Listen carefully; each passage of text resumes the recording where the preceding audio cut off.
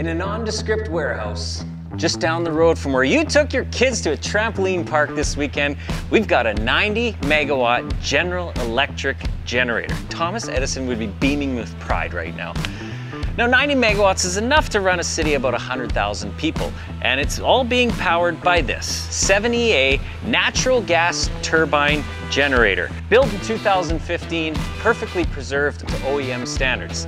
Now personally, I love coming down to places like this is the sheer size of everything. That building right there, 800 horsepower electric starter. That's just to start the turbine when it's ready to go.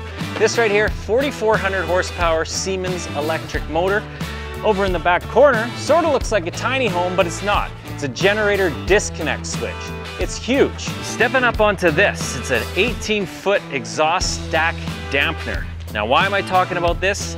Well, because not only do we have a gas turbine generator, but this forms part of a larger heat recovery steam generator, together a complete cogeneration power station. How complete? Well, there's over 200 truckloads across three yards. We're out here today inventorying, making sure we know what we know because someone, somewhere in the world needed this yesterday. And now we're ready for you. Talk to us.